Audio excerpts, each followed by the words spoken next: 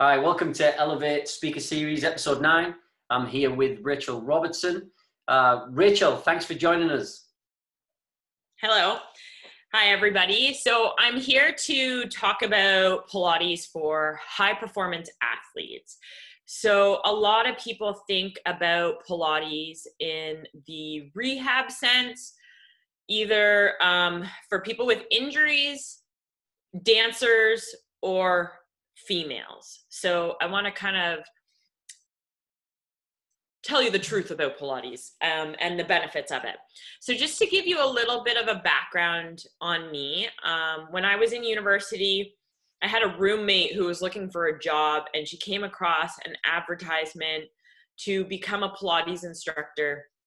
And I actually applied because I was like, I need a distraction while I'm studying for my kinesiology degree. So I went and studied Pilates at the same time.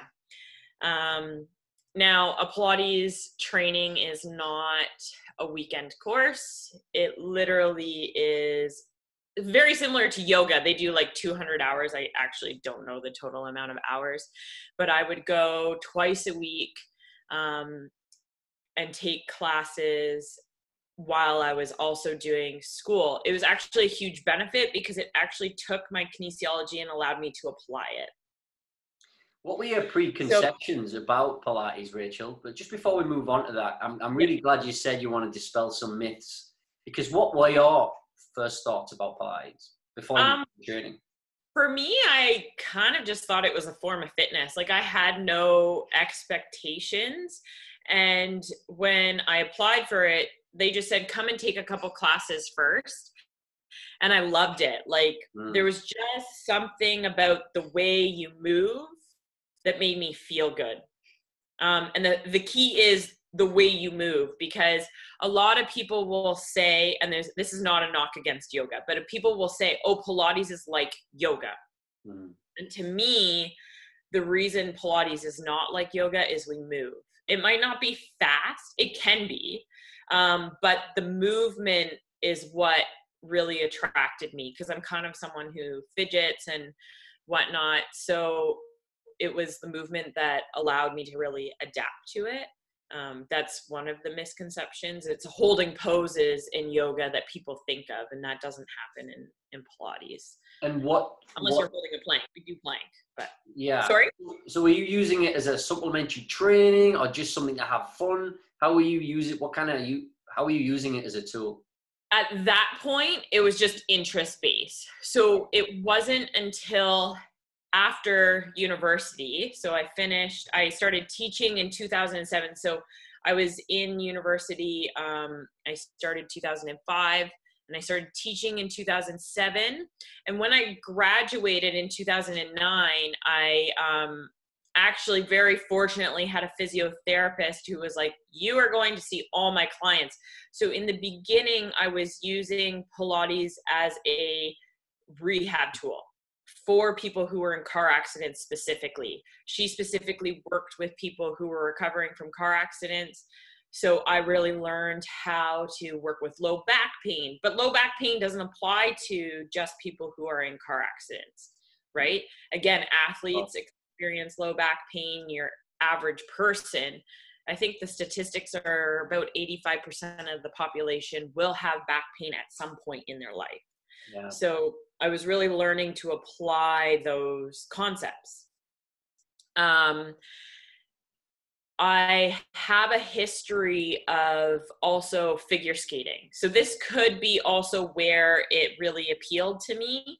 Um, was again the movement. And what is really important in figure skating is core strength. Um, and so pilates really develops core strength. A lot of people would say to me, "Oh, you have amazing posture because I stand very upright," but I actually was overextended due to Pilates or figure skating. So Pilates actually trained me where I should be, um, and that also helped reduce my back pain that I was experiencing from the posture of uh, figure skating. When I was going through that phase of my life, I actually was still competing as an adult. So I had stopped figure skating when I finished high school, went off to university, but then I started figure skating and actually joined a precision team as an adult.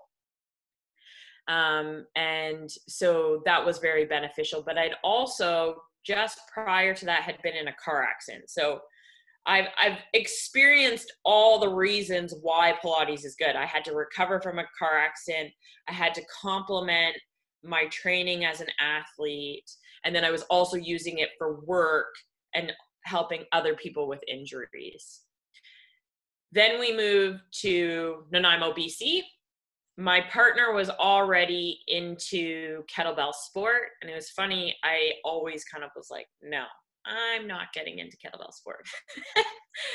and then I witnessed he he went and competed and I witnessed four women sitting standing on a platform, different ages, different body types, lifting 20 kilogram or 24 kilogram bells.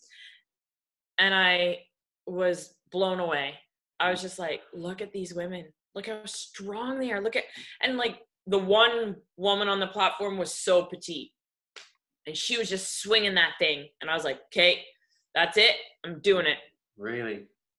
And um but i understood one i need strength training like in general as i've gone through my courses as i've gained more and more experience how important strength training was that's what kettlebells was going to provide me.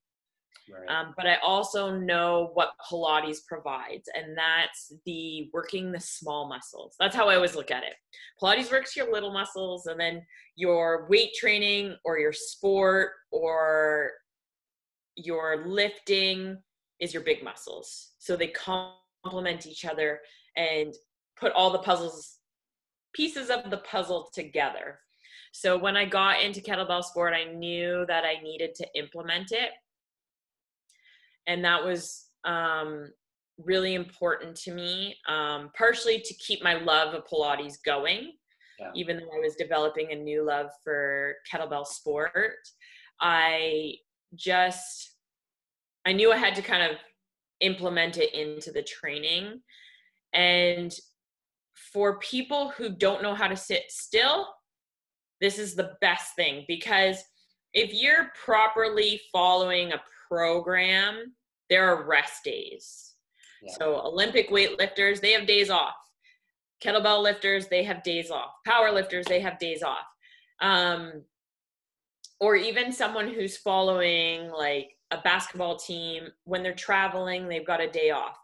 But maybe they don't like to sit or they feel like they have to do something and they can't really take that rest day and they know that they should foam roll and they know that they should stretch but they just can't do it to me this is where pilates falls in and that's what it was for me like when i was training for world in 2017 a day off was like a day falling behind yeah and i wanted to be able to show up do exactly what I wanted and be able to walk away and say that I did everything I could and that's why the results were there.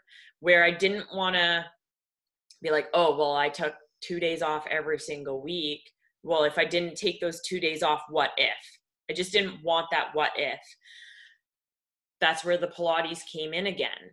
I could have Pilates to support that recovery.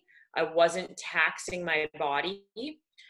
And there's a few reasons why. I'm actually going to skip ahead. So, um, there's aspects of Pilates, and this is why I knew that they would help with my recovery, but also keep me moving. Core stability is the activation of deep stabilizing muscles of the trunk, and they support the lumbar spine and pelvis. So, a lot of movement, a pitcher, for example, they just throw the ball. They don't think about how they throw the ball.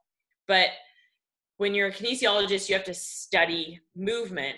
and we start to study like where does it start from? What position do they start from? And then all the different planes and axes that they move through.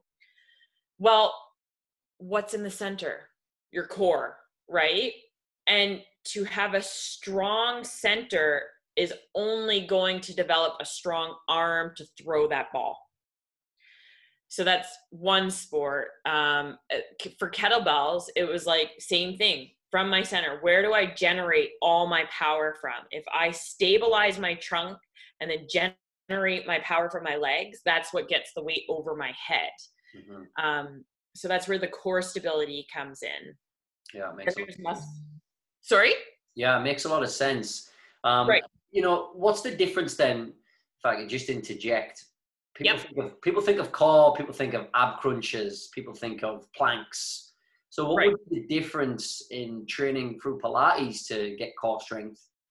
So, the way you want to think again, how I was saying, like Pilates is the little muscles and your sport or your activity is your big muscles.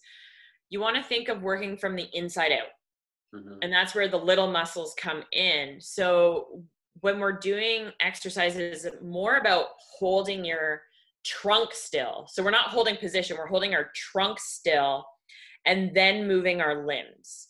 So in this picture that's here, my pelvis is staying still and my ribs and my arm are moving. Like this is actually a, a movement. It's not a stretch. I'm not staying in this position. So my ribs and my arm are opening up, but my hips, and that's the key thing about this exercise. If I did it incorrectly, my hips would be twisted and my knees might lift off the floor but I don't want that. I want to stabilize the pelvis and then move everything around it. So that's where the core stability is important is learning to stabilize the trunk and move the limbs in in various positions. So we've got all our different exercises in the Pilates repertoire that allow you to challenge that. Does that answer your question? Definitely. Thank you. Perfect.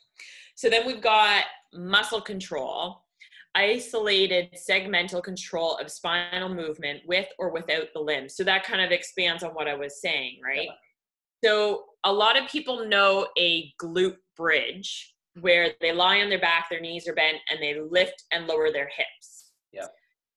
So that to in the Pilates world is actually a neutral spine movement. Their spine stays still. It stays the exact same when they go up and down. But then we have what's called a pelvic curl, and you are articulating through the spine. So they're actually rolling through their back to come up and then rolling through their back to come down. Mm-hmm. And to be able to have that motor control is actually really important.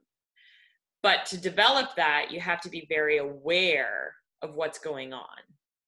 So learning to um, move your joints as well as stabilize them. And to be able to have that control is super important. Because again, if we go to the pitcher and they unconsciously throw the ball and then they consciously throw the ball, they're probably going to have more, um, they're going to hit their target better. They're going to have probably more speed and power than if they unconsciously throw it. Right? Yeah. So with working these small muscles and these uh, kind of micro movements, if you like, do you think you see short-term gains with that, or is it more? Are you playing the long game here? This kind of training. You're playing the long game, definitely. Yeah. But for an athlete, isn't that your goal? Most certainly. Right? Like none of us want to end our career at 15. Mm-hmm. Like for me, I'm 34. If I can still step onto the platform at 50, even plus, I will be pleased as all can be. Because I see people who mm-hmm. are stepping on the platform. They have masters categories. I want to get on the platform and have a gold as a master as well as a um, I don't know, open, whatever the open category would be referred to, yeah. amateur, I guess, right? And is there a way to measure? Like, how can you quantify um, the training of these smaller muscles? Is there a way to measure, or is it based on performance? Well, I would say with Pilates, there's kind of this whole perfecting of movement, right? Like you're constantly learning to the same exercises over and over to get better at them.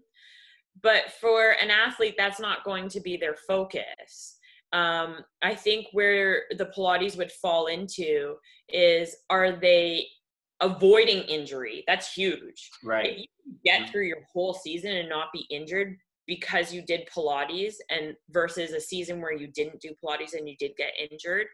Um, if you can avoid that, I think that's huge. Um, different things like, are you recovering from your game better? So if you're playing a soccer game, but every time you get sore, but then you start doing Pilates and you're not getting sore, or your recovery time is better. Um, when I was in university, I used to run, take a Pilates class, and run home, and I would compare my time. And I would drop four minutes on my run home. No way. Yeah, four minutes. That's actually quite a bit. Yeah. And it was 5K. Yeah, there you go. That's a percentage for sure. That and what that comes to is my third point. So Pilates inc- incorporates a lot of breathing. It's not like we're sitting there going, but it's being conscious of your breathing. Yeah. And because of that, on my way home, I had better pacing because I was breathing better. I had better awareness of my breath. I could control my breathing better on my run home. So when you say control breathing, is it something are you taking longer, deeper breaths or is it just just simply you're conscious of it and you and you're just breathing in a relaxed way? So it would be dependent on the movement. Right. So certain movements, you're going to maybe deepen the breath. So you're going to elongate the breath because of the type of movement, or you're timing your breathing with your movement, um, as well as certain movements require a certain breath. So as you're sitting up, so if I'm lying down and I roll up to sit up, an exhale is going to help me contract my abs and get me up. Right. Or if I were to do that on an inhale, my legs would probably lift up, my form wouldn't look that great. So the type of like inhale versus exhale is going to affect the movement or affect the difficulty of the movement. So is Pilates and yoga uh, obviously they're very similar in that aspect. Yes. Is they're um, similar in the, the, awareness of breathing for right. sure. Yes. So have they have they connect have they evolved together? Have they kind of connected in in the history of these two? Uh, I don't know. You would you'd like to call them art forms or movement patterns? Um, like of the of the both genres, have they connected ever? Um, well, you'll see crossover, but um, the guy who developed Pilates, which I actually have a couple slides on that, so I can touch on that since we're just covering it. That's the guy, Joe Pilates, of course, Joe, Pilates. Pilates. That's awesome. And he initially was um, so Pilates has only existed since the 1920s. Yoga, my understanding, is like super old. Mm-hmm. Um, where Joseph Pilates apparently had asthma, rickets, and rheumatoid fever, and therefore because he had these ailments he wanted to get stronger so he already has that mindset of like the type of movement that's going to make you a better person um, and so he became a gymnast a diver a skier and then he worked as a circus performer a boxer and a self-defense instructor. Wow. What a guy. And yeah, so he has a history of sports and movement. He also worked with the military and helped um, a bunch of anyone veterans who were injured. He helped them recover from the war, um, and he he did that before he came to America. And then he developed, um, opened up a studio in New York City and that's where a lot of people learned Pilates. So Pilates is very big in North America because that's where he was located, but he's originally from Germany. Mm. So I wonder, I wonder if his ailments. I mean, you might be tell me this. Did his ailments decrease, or were they curtailed because of this? Yeah. Because of his uh, his finding of this? Yeah, so it was mainly when he was a child that he experienced those. Right. And then he got involved in all these things and then he didn't really have issues with it. And the breathing was partially because of the asthma, right? Like the breathing portion of the exercise was for him to control his asthma and not have outbreaks from it. Um, now he did not call it Pilates. He called it controlology because it was the control of the body by the mind. So again, thinking about your movement when you're going through it. Yes. So you're concentrating on the body during the movements to achieve quality movement and good form. And that kind of it just builds the principles of Pilates. It it shapes it where the the man he was and his thought pattern. And I think it's really important that we acknowledge that it was a man that designed it. I'm not trying to like was it yammering.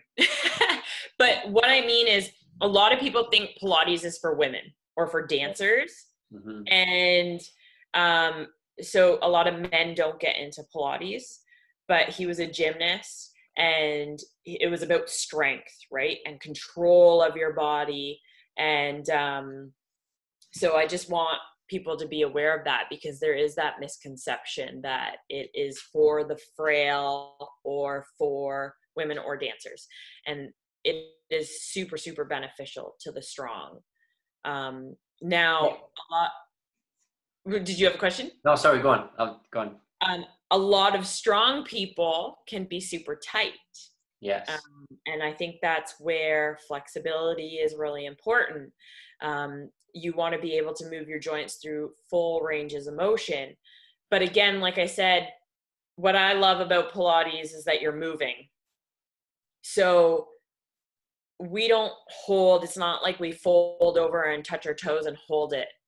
Um, but we'll go through ranges of motion that will feel like you stretched afterwards. So in this picture, I'm on a reformer, but what what is on there is actually a mat converter so that I can also use it as a mat as if I was on the floor. If I were to take that away, there are springs and you can kind of see them hanging on the back piece that we use for resistance. And one of the exercises you can do is you lay down on your back, you put straps onto your feet, and you lower and lift your legs. Right. And as you're lowering and lifting your legs, you're getting a hamstring stretch. Mm but I never have to stay there and hold. The combination of positioning my pelvis, engaging my abdominals so that my pelvis stays still, right? That trunk stability that we were talking about before. The leg movement and then the resistance creates that stretch into the hamstrings. Right and then there's different leg movements that you would do while you're in that position whether you're lowering and lifting whether you're bending them doing circles and they all stretch the hamstrings in different ways at the same time as strengthening yeah so i can certainly see the connection and with kinesiology and how it's resonated with you and your studies so much because they're so interwoven. Yes. Yeah. And um for me, it I feel strong when I have really good posture. Yeah. Um, when I feel like I stand tall, I'm five foot two, and most people think I'm five foot five, five foot six, and um, I I take that as I have good posture. I I'm aware of my body, but I also think it's because I'm strong. A lot of people if you look at an older person, they start to kind of round forward. Mm-hmm. And that's partially because they're losing that strength to keep themselves upright. Right. So I, I see it as a, a sign of strength. And that's why kids who are young and active, they stand tall, they move around really well. And I think it's important that we think about that as well.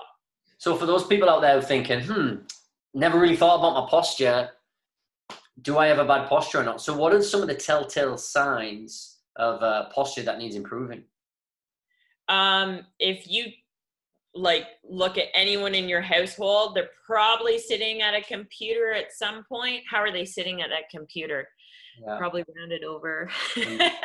yeah. um, that that is an easy way just to look at them um, where if they're sitting upright and their back looks kind of straight mm. we have natural curvatures to our spine but for the most part your back is upright with that natural little curve in the spine yeah. but if they're slouched forward there's a huge curve in their upper back and their yeah. shoulders are rounded forward and some people walk around like that right mm. it can even be seen as a sign of like poor confidence hmm. for someone who's confident they look open they they're tall they're looking straight forward as they walk right and um, you can see the difference i would say as well as young kids who play sports they have more confidence. They walk around a little more upright.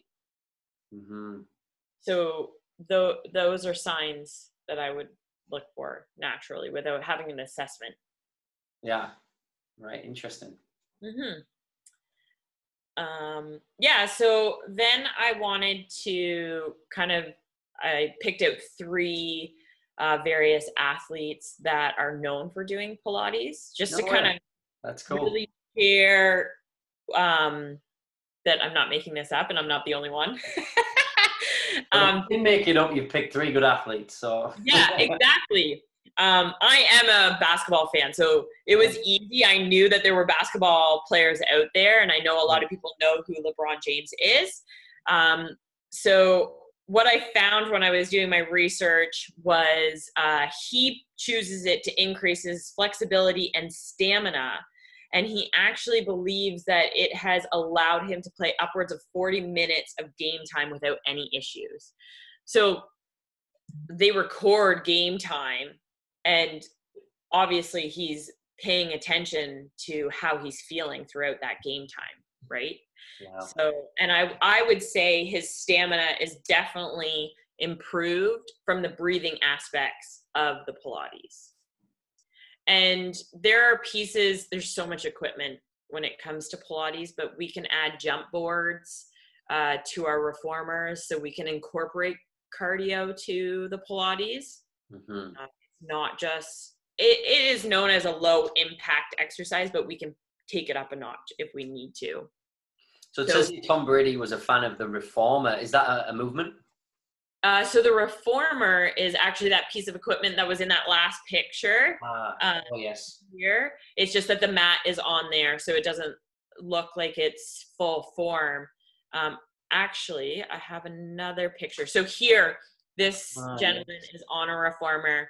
Um, I actually purposely found this picture because I've worked with this instructor and she works with a lot of NBA and uh, NFL players. And this guy is, um, I'm not sure. Well, she's in Philadelphia, so he must be off of the Philadelphia team in in NFL.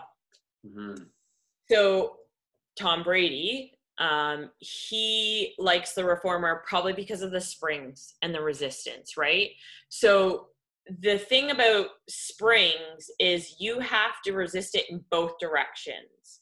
If you were to push against the spring and let it go, you would know that it it's just going to make tons of noise and it's going to crash. So you constantly have to control the machine and then you're getting double the work um, and he likes it for his low back and his abs. So again, that trunk stability, right? Mm-hmm. He's obviously super powerful, super fast, but to be that fast, you've got to have good trunk stability, and he's going to get that. And it says that he likes working on his lower body, abdominal muscles, and obliques. So again, trunk stability. And then I'm gonna butcher her name, Maria Sharapova. Yeah. Um, again, she likes the core workout um, and believes that's the center of the chain to everything. So th- exactly what I I had to put her quote down because that's exactly what I think. Yeah. Our core is our center, and no matter the sport, that's where you begin your movement, and that's where you go to, right? Um, so those were the three athletes that I picked out. So, like the main things that you want to think about why would an athlete want to perform Pilates? It is low impact. So, if you're looking for a day where you want to move, you're not going to tax your joints, it's gentle on the joints. Um, you can get some stretch out of it. You're getting active recovery. So, you don't have to sit around on a couch. You can do something without overtaxing your body and that's the thing is recovery is super important and i'm not saying do not recover. It's just some of us struggle with having that rest day more than others. Yeah. And this is a way that you can cope with that by having gentle movement or working on your weak points right? Um, we all have a weakness. No one no one is a superhero. And um, we need to be thinking about what should I be avoiding. So kettlebells is a lot of shoulders. I should be working on my rotator cuff because my big muscles, my delts, my lats, my traps, they're getting worked. What is not getting time? My rotator cuff. So I need to spend time working on the little stabilizers of my shoulders to to complement all that heavy load that I'm lifting. Mm-hmm. And and same with the trunk work. I'm I'm getting lots of back extensors, hip flexors, but I do need to work those stabilizers of the trunk. The other thing, um, and not all sports fall into this category, but for kettlebells, it's all in the sagittal plane. So it's all moving forward and back. There is no side bending and there is no rotation. Therefore, I need to incorporate that at some point throughout my workouts to truly move well and to stay healthy.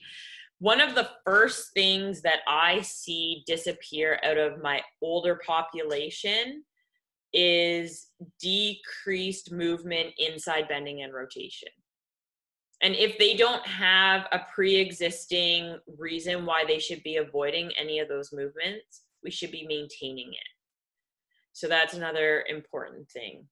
Um, and then i touched on point. I would, I would imagine athletes and swimmers um, who are can be quite linear, especially on the track. Yeah. I would imagine uh, something like Pilates might might benefit those guys too. Definitely, yes, yeah. definitely.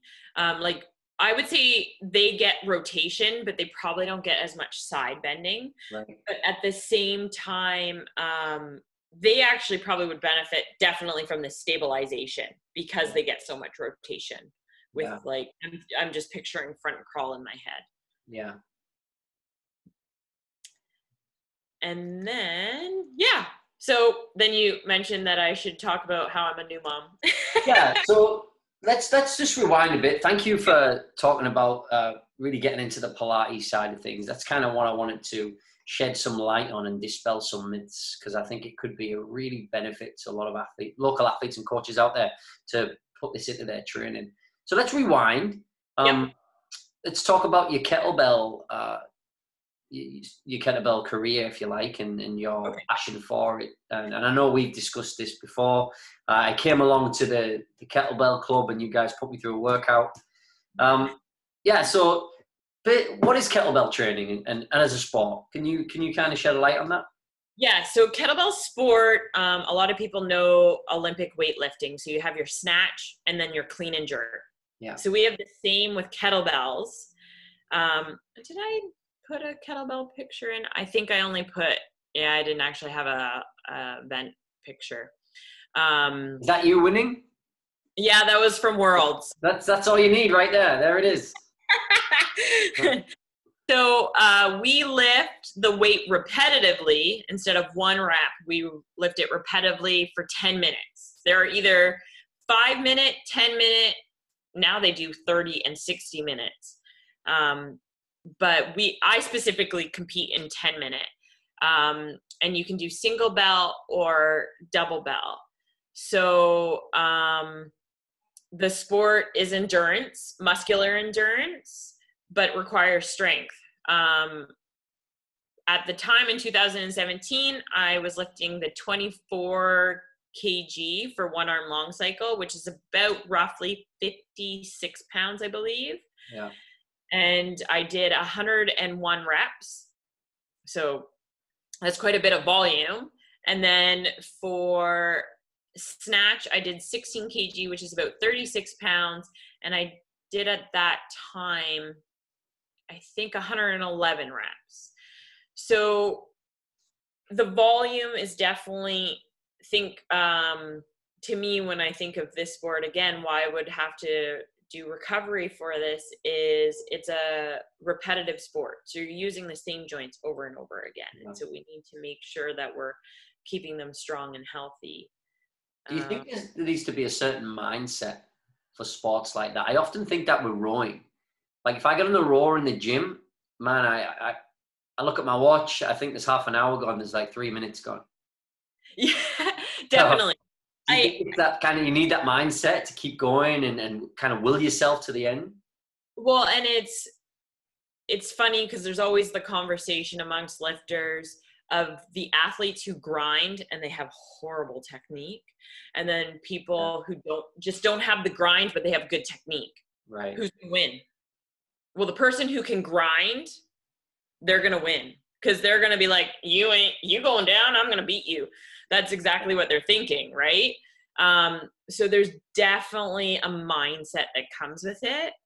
Um, and I've done like for the sport specifically mindset training, thinking like Jeff, you've had Jeff talk. Um, I've gone to some of Jeff's workshops, applying that stuff um, just to make me focused on the platform is mm. definitely part of it. Where figure skating um, for me was definitely mental, um, but there's so much more technical to me. And that's my opinion when I compare the the two sports. Figure skating is so technical and it, it's challenging. Like people wouldn't know that if your skate pick just lands off a little bit and the judge thinks that you landed that way, that's a cheat. And that jump was no good. And I remember learning that at an early age. And I was like, I landed that. I, I uh, no, the judge just didn't think my foot landed right, and that was a cheat. So, so yeah, anybody who, if anybody who hasn't watched, just go to YouTube and you can actually see Rachel in action as well, uh, lifting. I mean, it does look like a grind, and it does look like repetitive. Um, and that rhythm, man, that rhythm must, just must be, um, you must, must have to try and perfect that. But what I want to talk about is having a kettlebell in the corner of your house. It must, there must be so much you can do with the right training and the right technique. Yes. Um, especially, uh, especially during the pandemic right now. Uh, well, maybe be it's, it's a, it, it takes up very small space. Yeah. It literally will take up the corner of your house you probably need I don't know, I don't know measurements, maybe a three by three mat. And that's all you need space wise. Right. And you could do tons of stuff. You don't even have to do kettlebell sport. You could do deadlifts, you could do goblet squats, you could do rows, you could do basic functional training with a kettlebell. And then you could also do kettlebell sport. Um, mm. So it, for people who are stuck at home and they can't do anything, but they think, "Oh, I got this kettlebell." There's so much that they could do. And what do you what do you think about the teaching of the technique? Because I got to tell you, when I, if I do a HIIT class or like a circuit class, and I look at the kettlebells coming up next, I'm like, "Oh man, I'm gonna my back is getting through out here." Well, and there's different styles. So that's one thing to keep in mind, right? Um, cuz there are times I go to a basic gym and I think, oh God, look at that swing. But at the same time, um, the kinesiologist in me is coming out and I'm like, your poor back. Um, but there's different techniques, right? Like a CrossFit kettlebell swing, they go up and then they kind of pull it down. Mm, yes. Um, a hard style swing, everything is super rigid as they go up and down.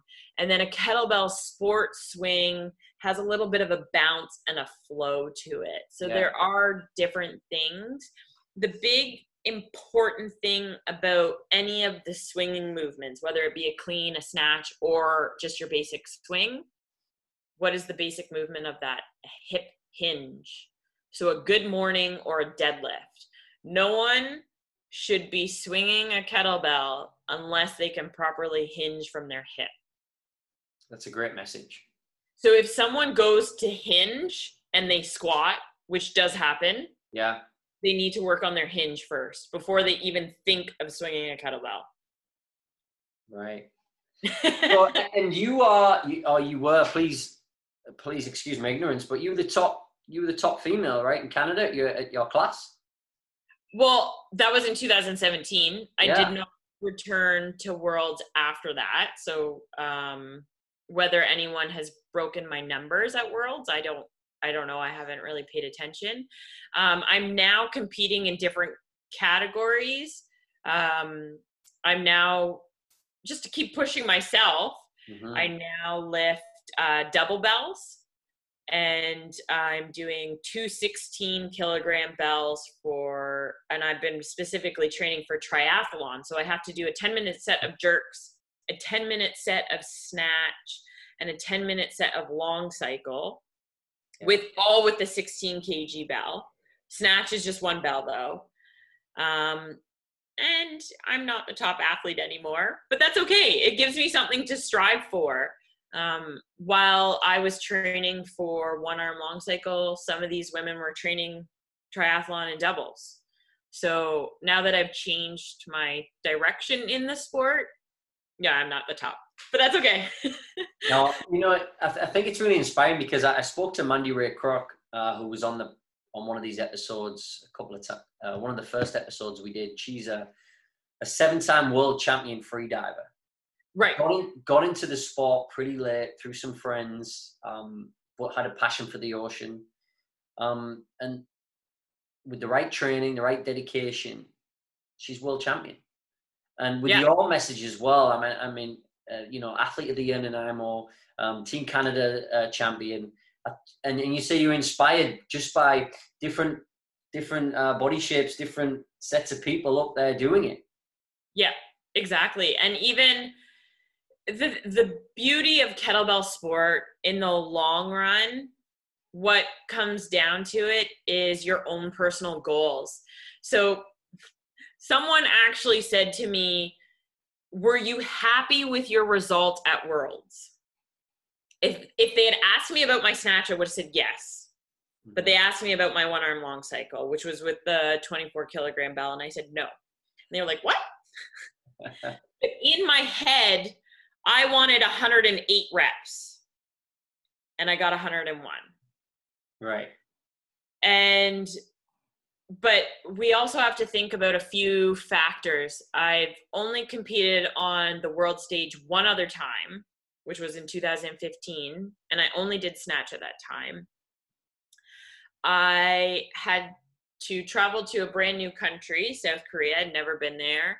Mm-hmm. Um, we had some hiccups along the way. We actually, our flight had gotten canceled and we were 24 hours late arriving to Seoul than we had planned. And we had planned to arrive so that we could acclimate. Um, so I had to like get that mindset okay, don't let these factors affect you, be focused. And then I found out that if I got 108 reps, I would get international class master of sport. So that's what I wanted. I wanted this title. I wanted international. So I wanted 108. But well, that's it's a, it's great. It's such a great journey, and and, and then you've embarked on another journey, um, which I, I believe is your next slide. And how's that going? It honestly is amazing. Yeah. It. I I was not prepared for literally falling head over heels in love with someone. Mm-hmm. That's that's the easiest thing I can say. Um, it's amazing watching Solomon, her dad, uh, and the two of them together. Yeah. It's amazing watching her develop. And being a kinesiologist, I'm totally a movement nerd, and watching all the motor development is like, oh my gosh, look at this! Ah, she's rolling. yeah, being being a new dad myself, I can't believe I just expect them to fall on their face every every two minutes. But they Right. don't. I guess they're where they're structured and built. The hands come up, the hands come up, or the butt goes down first. They're just. Yeah. It, it is amazing. I mean, yeah, from an educated point of view like yourselves, it must be just a case study every day. Oh, totally. Yeah. And um, if anyone's heard of the functional movement screen, they Mm. kind of talk about basic movement patterns from a baby growing up and how important it is leading into our athletic careers. So I'm like, please crawl first, please crawl first. Um, that's what they say, crawl before walk. Um, and he, Gray Cook, who designed it, designed the FMS, actually says like, knock your child down if they start walking before they crawl. And I'm like, oh, I don't want to be that parent yeah. um but yeah it's it's so intriguing it's it's super rewarding um it's just been i don't know it takes my words away. It's been amazing. It's fun. It's a huge learning curve. Mm. that's like you can't be prepared but you have to be laid back right? Mm. you got to accept every bump in the road and that's just the way it goes. And how's how's life right now with the business and um and everything and, and the gym? Obviously, you and your husband um have a have some great outlets within the community. How's it? How's everything going? Good. We've actually had some major um, changes, uh, not only because our daughter Charlotte was born, um, but Solomon has moved the Nanaimo Kettlebell Club to Anytime Fitness, actually. Right. He's now working out of there. He was uh, running his personal training business out of our home, and we decided that it would be better um, for him to move to Anytime. So that gives him more, he's more out in the community and people can find the Nanaimo Kettlebell Club better. Um, we had to, with COVID, shut the business down. Um, and then what we did at first was our immediate thing was anyone who wants equipment, come, come get it, rent it out, whatever. And so we gave equipment to our clients and then we went online. Um, Sully did it first, uh, partially because as kinesiologists, there we weren't covered insurance wise. Yeah. Um, so we had to kind of figure that all out, and that kind of um, mainly was towards like ICBC work that I do. Um, a lot of like practitioners, like physiotherapists, doctors, they can use telehealth. Well, kinesiology was not as part of that. So we were on hold for a little bit.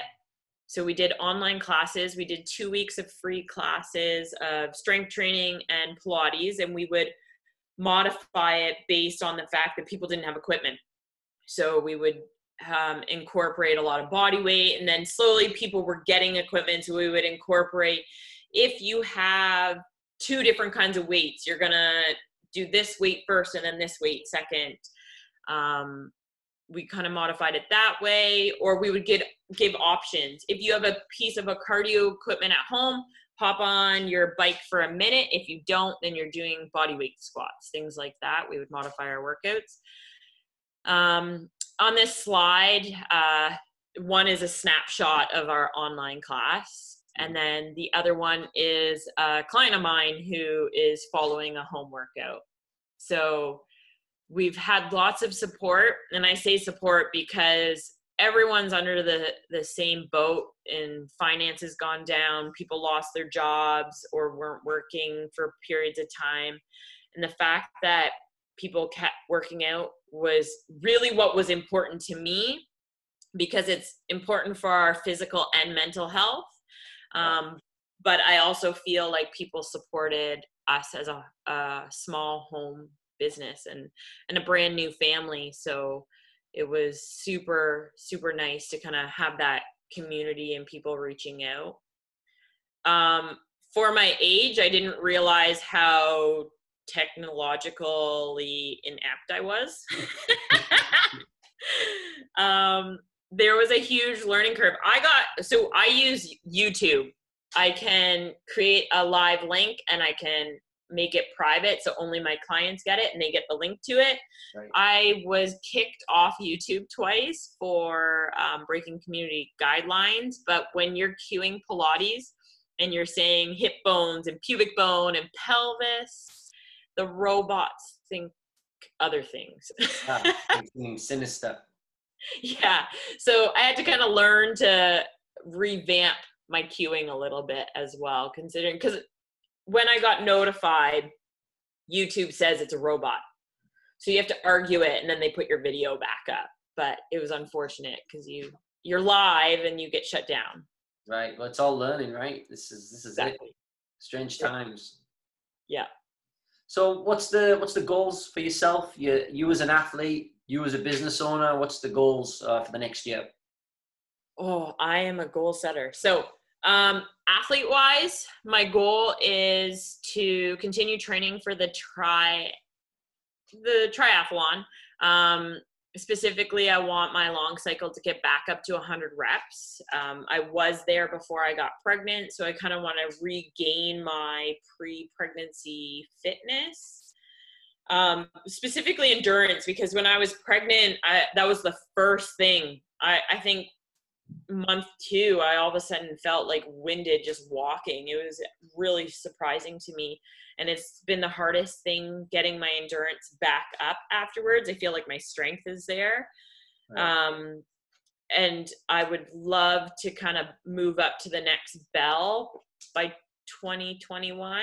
Um, but we'll see because sometimes I think we far ahead business wise, we're keeping the online stuff. We're looking at different options of continuously improving it. So we've gotten a new camera. We're looking at new ways of live streaming or different platforms um, because we want to prepare just in case there's a second wave.